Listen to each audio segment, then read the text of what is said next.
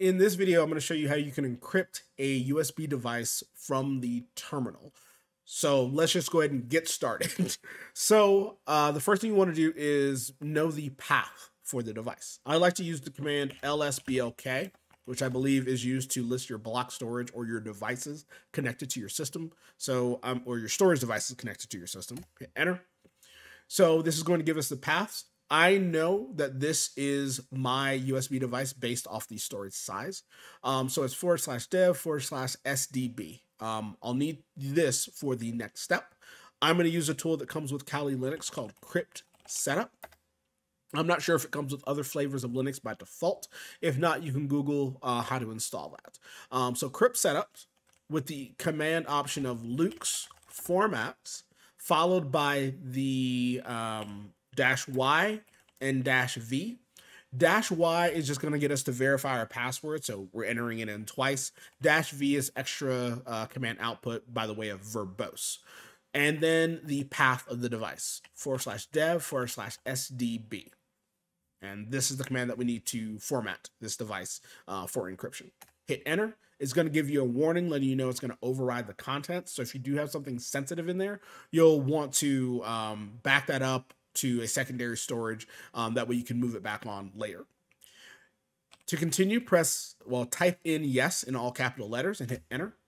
And now put in your passphrase. Because we did the verify, the dash Y, uh, we're entering it in twice. All right. And this will take a few seconds, and it's pretty much just overriding the, the device and uh, allowing it to be encrypted.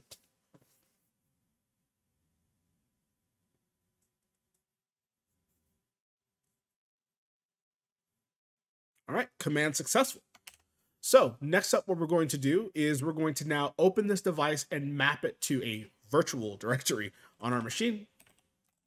Cryptsetup, crypt setup, luks open is the command, followed by the device, SDB, and then we need to give it an alias. I'm sticking with this whole Transformers theme, so Megatron in this case, since my user's name is Optimus, and hit enter. And now it's asking for the passphrase that you set up.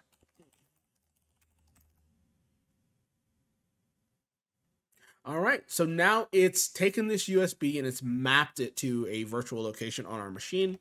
And if we do lsblk dash p, we can see what that mapping is right here. Um, there's a directory called forward slash dev forward slash mapper. It's whatever alias we gave um, to that. In case, in that case, I called it Megatron. And we can also see the type um, for this is uh, the uh, encrypted, essentially. All right. So next up, what we want to do is we want to format this directory here, this mapping directory. And the way that we do that is I'm going to use the built-in tools. So MKFS, I'm going to press a period and tab. These are the different formats that we have. Uh, I'm going to use .ext4 because I believe that's um, that is better for USB or external uh, storage devices or small devices. So we'll do X, ext4 and then that mapped path, dev mapper Megatron, and then we need to give it a label, very similar to when you format a drive on Windows or when you just rename a drive on Windows. Um, and I'm just going to call it Megatron as well. All right, this will take a bit longer than the encryption, um, but once it's complete, um, we can then mount this directory. But um, yeah, so we'll just wait for a moment. All right, perfect. So that's done. Let's go to ls. All right, and now what we can do is because we have now set up that mapping directory, we formatted it. Now we can mount that. Um, so I like to use mount, and then we do the mapper Megatron, and where we want that to be on our machine, I'll just put this in this folder here. Um, oh, the mount point does not exist, so I can I could do a make directory Megatron. I prefer to do it all in one command using the dash M. That will create the folder. Um, the target folder uh, will be called Megatron. I can call it anything that I want. And I'm going to do dash W so it's in read write mode. Hit enter. And there we go. And so now I have a folder called Megatron. And what I can do is I'll I can do a echo. Let's do hello world. and then I'll put it in the Megatron hello.txt. Hit enter. And now what I'll do is I'm going to unmount um, that directory. So dev mapper, and actually before I even do that, let's do a an lsblk to list our block storage again. Um, we can see that the mapper, uh, that mapped folder is now mounted. That's my mount point here, um, that folder that I created. So we're going to unmount this and we use that mapper path. There we go. And let's do lsblk again and now it's no longer mounted. And now in order to close because now right now now right now the the disk or the the device it's unencrypted meaning that we're we're able to see into it but now we need to close it. So the next time you know we open it we need to have that password. Or so what we can do is do a crypt setup luks close and then the device path. Uh, what did I just, one second. Okay. Oh, that's right.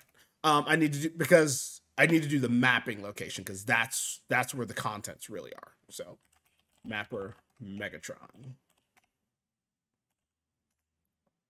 There we go. And then BLK. And then there we go. So we see we just have the device attached, but it's not no longer open. So if we want to open this device again, we can do crypt setup. luks open. SDB.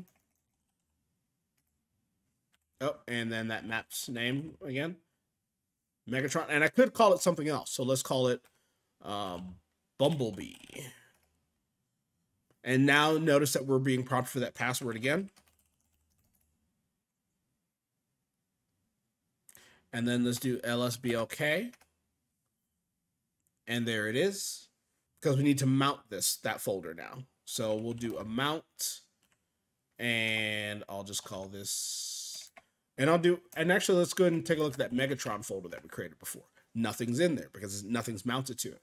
So we'll do mount dev mapper bumblebee Megatron. And it might help if I type correctly. There we go.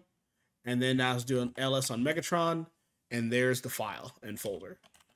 Lsblk so yeah. So that's how we accomplish those tasks. Um, you only need to do that formatting of the device and the mapped path the first time you create that encryption. Otherwise it's just going through and opening mounting unmounting and closing. So setup. Uh, oh actually unmount first uh, unmount, dev, mapper, bumblebee. I keep I keep wanting to say unmount, but it's umount. There we go. Umount. Then again, LSBLK, we can see it's no longer mounted. And then we need to close this device. So crypt setup luks close dev mapper Bumblebee.